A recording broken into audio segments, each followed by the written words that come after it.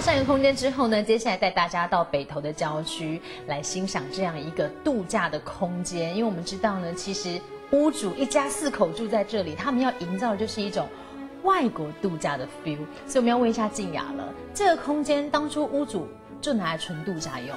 嗯，对，其实他在别的地方还有其他的房子可以使用嘛。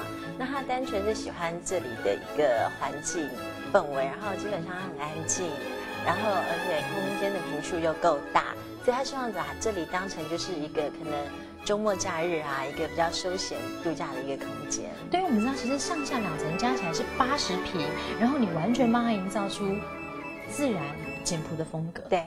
因为其实，在这个空间里面啊，它有很多的阳台、露台，然后它可以跟呃外面自然很接近，所以在我们的设计规划上也是呃走比较自然的一个风格。那我们希望说，这样的一个设计呢，可以让屋主有一份很纯真的一个感动。嗯，因为我们知道，其实待会带大家仔细的把每一个空间都看过之后，你就会发现，它完全没有浪费这里很优越的条件。就是采光真的非常的好，然后有非常多落地的窗户，然后甚至做了一些很细腻的处理。对对，最难的地方这一间最难的地方在哪？呃，其实就是它整个空间的一个串联。嗯，对。啊，我们希望空间看起来开阔，然后又不要有太多的一个障碍物，然后能够让空间呈现它每个空间自己独特的一个特色。对，所以我知道你在空间规划上费了很大的心血，对不对？待会带大家一一一的来看。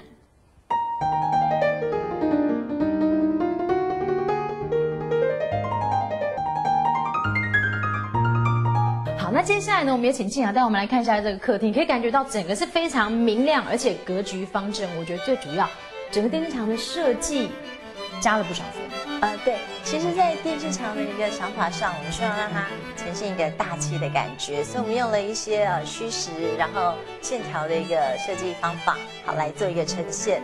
那像我们在呃它的左手边，它有一个比较虚的一个展示柜，那所以为了让它比例上的一个协调呢，所以在右手边呢，我们用了有了一个它的一个设备柜的一个收纳。对，所以说其实可能因为你手法的运用得宜，所以你会感觉到整个电视墙。它虽然很干净，但是它同样也有具有美观的效果。然后呢，你再看看你在帮它搭配的软件沙发上，其实也很用心。对，因为我们放了这个 L 型的沙发，那基本上就会让它感觉比较休闲、比较度假的一个氛围。对，因为它要营造的就是我来这边，我就是要度假，我就是要放松。所以其实，在软件搭配上，包括我们的桌子，也尽量是。选择质感比较直朴的，对，比较自然的，对。对，那呈现它整个空间的一个氛围，嗯，所以其实整个客厅就成就出一种比较自然度假休闲的感觉。好，在餐厅这边呢，我们知道其实静雅也帮屋主做了空间重新的规划。对，那原来在我们餐桌后面呢，它是一个隔墙。那我们为了让空间看起来呢更有穿透感、更开阔，所以呢，我们就是把原来呃餐厅的地方呢移到了沙发后面这个位置来，让它整个呢感觉是更穿透的，然后空间是更开阔的哦，开放的感觉就来了。那到这边我不得不说，这边其实它应该算是一个多功能的桌子，对不对？可以餐桌使用，还可以全家坐在一起阅读。啊，其实屋主原来的想法是说，除了可能平常的用餐时间外呢，他希望这里呢可以营造出一个就是全家人在这边一起阅读的一个空间。所以，我们在这个材质的选择上呢，是让它感觉比较自然的、比较舒服的。然后，包括我们后面的这个展示柜，那其实还是一个多功能。它除了展示功能呢，它也可以当书柜。然后，包括我们旁边这个收纳的功能。那在这个收纳功能里面呢，我们用了镭射的雕刻板。那这个图腾它是有点树枝的图案，那所以呢，我们需要呈现的是呃比较自然、原始，有点呃像森林的感觉。对，因为我看到你搭配的颜色，其实它就是一个很简单，然后不太不会让你觉得过于华丽，因为你要放松，你要呈现这个感觉。而且我不得不说，我看到上面它有人弧的处理手法。其实啊，这个人弧是因为在这个书柜上有一只梁，那我们为了把这个梁做一个视觉上的修饰。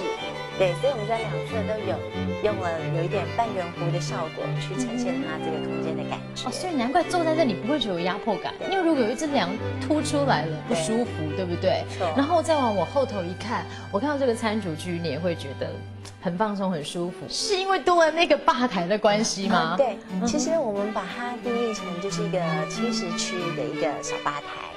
对，就是说，如果你平常呃用餐啊简单的时候，可以其实坐在那边。哦，所以你整个餐厨区，其实你的概念就在于，既然它是度假屋，所以我们可能很多考量就要想到，我们不一定，我们可能有时候是在外面吃完饭才进来，所以这边就不能单纯做餐桌使用，对不对？整个整个空间的想法出发点就在于，对，其实是不太一样的。休闲一对点，就是营造它比较休闲、比较放松这样度假的一个心情。嗯，